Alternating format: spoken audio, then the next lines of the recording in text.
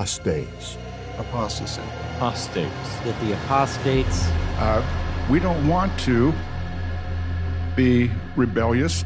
Instead, we want to follow the lead of the faithful slave, be content to do that, be content to do that, be content to do that. Hi, Rose here. I have a question, and I would like your honest opinion. Here's my question, and please hear me out before you answer. Before I ask the question, please make sure to hit those like, subscribe, and share buttons so this video goes out to a wider audience. Thank you in advance for doing that. When you stop believing as one of Jehovah's Witnesses and you try to show your friends, family, or the elders the facts about what you have found, does that make you an apostate? Why is learning things a bad thing? What exactly is an apostate is defined by the dictionary and then compare that to how an apostate is defined and taught to all Jehovah's Witnesses. The dictionary definition of an apostate is a person who forsakes their religion, cause, political party, etc. So let's say you're a Democrat and you leave that party to become a Republican. By this definition, you're an apostate. When you have a Bible study come into the organization, they are by this definition an apostate. How? Because they have forsaken their former religion and belief system to become one of Jehovah's Witnesses. So if you stop believing in the Watchtower Bible and Tract Society, are you an apostate according to this definition? Honestly, yes. By no longer believing in witness doctrine or theology, by this definition, you're an apostate. You don't believe what you were taught anymore. Just like the Bible student did with their religion. You're making a decision based on the information you have found and studied. Again, just like someone who came into the organization based on the information they were shown. But is that necessarily a bad thing? Now, let me tell you why I ask this. First, we need to see what the Bible says is an apostate. Jesus referred to an apostate at John 6 verse 64. He said, an apostate would be those who don't believe in Him, Jesus. Galatians 1 verse 6 says an apostate is one who shifts from Jesus or one who moves away from His teachings. So According to the Bible, an apostate is someone who does not believe in Jesus and his teachings. But that's not what the Watchtower organization says is an apostate, is it? An apostate, according to the Watchtower Bible and Tract Society, is someone who either questions anything taught by the organization or the nine men claiming to be the faithful and discreet slave. Apostates. Apostasy. Apostates. That the apostates. Uh, we don't want to be rebellious. Instead, we want to follow the lead of the faithful slave, including what Anthony Morris has said. In his talk, Put Up a Hard Fight for the Faith at the 2021 Regional Convention, David Splane stated that apostates are those who talk negatively about the organization itself, whether it's those who are part of the organization now or were at one time, or any type of media saying something negative about the organization, not Jesus. You know, we receive letters at times from brothers and sisters uh, who are troubled by something they saw on a web page, an accusation a rumor, about the society or about the organization. But that's not what's written in the Bible. The Watchtower organization uses any scripture that speaks about apostasy, claiming those scriptures are talking about leaving the organization itself, or speaking negatively about the faithful and discreet slave. Even if someone still believes in Jesus and the Bible, but is that definition correct? No. The Bible only states those who deny Jesus are apostates. So if someone says something negative about the organization or branch, as it is now referred to, or even the faithful and discreet slave, according to the Bible, that's not being an apostate. If someone makes a negative claim against the organization itself, that is not being an apostate. If someone questions the organization's doctrine or practices, that is not being an apostate. If someone disagrees with the faithful and discreet slave, those nine men, according to the Bible, that is not being an apostate. An apostate in the Bible is one who doesn't believe or follow Jesus, not an organization. All witnesses are told to make sure of what they are reading or researching.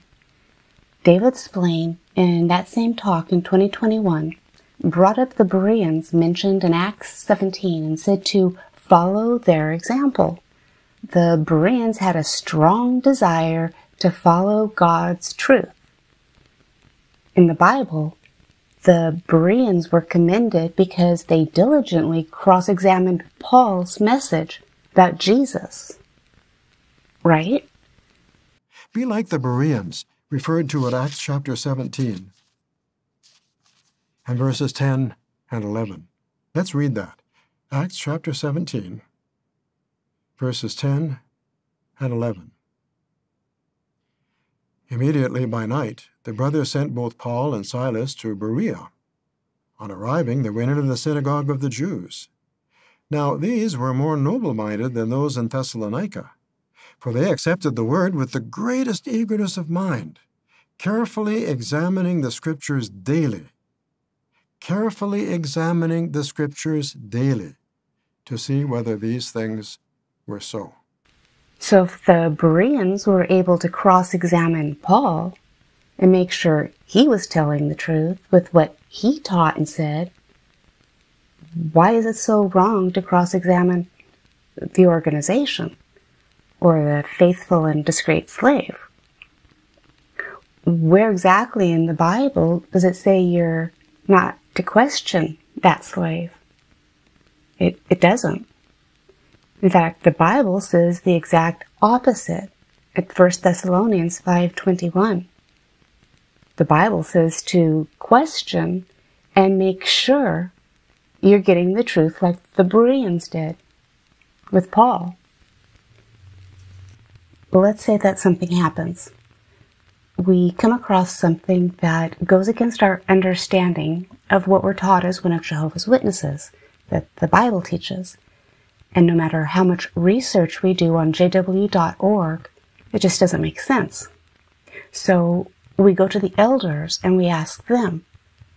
But either their answer doesn't make sense or they can't answer the question and they tell you to rely on Jehovah. He will provide the answer. What happens if you keep questioning like the Bereans did? what happens to you just because the elders can't answer your biblical question or you don't agree with what the organization teaches regarding the scriptures, the teachings, or practices because of things that you found out. The elders accuse you of being divisive. If you continue to question anything, the elders will start accusing you of being an apostate. So, in all honesty, can you really question like the Bereans did? Like the Bible tells you to do. Again, David explained in that same talk that I've referred to, so that media coverage does not always tell the truth. He said we are to beware of what we watch, hear, and what we see. Now, what I find interesting is that if we find anything in the media that's positive, and it has a glowing review about Jehovah's Witnesses, what do you do? You share it as much as you can. You are encouraged to share it as much as you can. Look, look what it's being said about the branch, the organization. But what if there's an article that's negative? It has disturbing news regarding Jehovah's Witnesses or the organization itself. Now, it's considered fake, made up, false, apostate lies you're not to look at. Why? Why can't witnesses see what the media has to say? Can't we be like Job and withstand negativity? That's what David Splane said Job was able to do in his talk withstand negativity. Does the branch think your faith in God is so weak that you can't handle anything negative about the organization? Or are there things they don't want you to see? 1 Thessalonians 5:21 again says to make sure of all things. How do you make sure of something? You question it. So, by saying someone is an apostate because they question the Watchtower Bible and Tract Society's teachings, doctrine, or practices, is the Watchtower organization really following what the Bible says? Especially due to the fact that they have changed their standpoint on different doctrines and teachings so many times over the last 140 years. If someone believes something is absolute truth, only to have that truth changed, are they considered an apostate because they don't agree with the new teachings and understanding? The Watchtower organization itself today disagrees with what they actually taught as truth in prior years the organization themselves change what they teach. So, does that make the organization apostate? Being accused of being an apostate in the organization is not taken lightly, is it? You're disfellowshipped if you're considered an apostate because you said something against not Jesus, but the branch, the Watchtower Bible and Tract Society, the faithful and discreet slave, those nine men. When you're disfellowshipped, you're completely shunned by your family and all of your friends. You're shunned because you followed what the Bible tells you to do. You questioned and cross examined the Watchtower organization like the Bereans did Paul.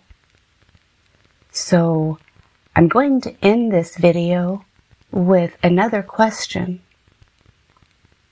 Is the Watchtower Bible and Tract Society correct by claiming someone is an apostate because they questioned the teachings of nine men are those nine men really following what the Bible says? Or are they teachings of doctrines made up by men as shown at Matthew 15 9? And if those nine men aren't allowing you to follow your Bible trained conscience and question what they teach, Are they really the slave of Matthew 24 and Mark 13 and Luke 12? This is something that, as one of Jehovah's Witnesses, I think is really important to ask yourself. We don't want to be rebellious.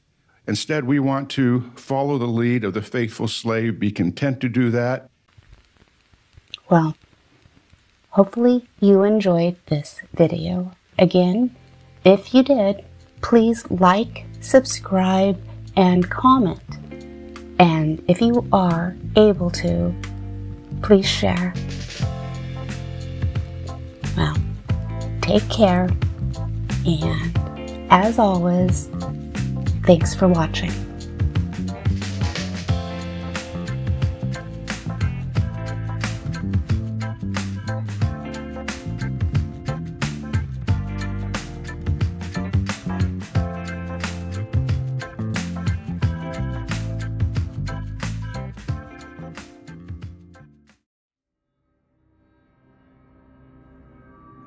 Now think about poison.